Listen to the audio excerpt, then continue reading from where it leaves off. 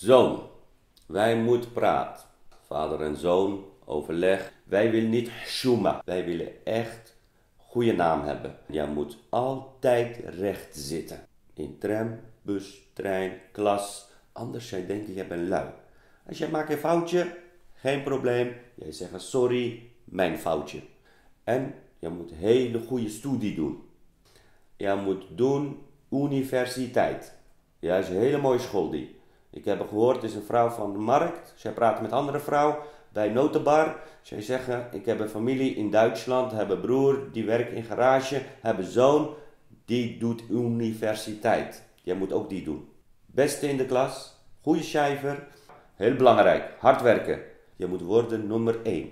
Geen spelen meer, goede best doen. Ja?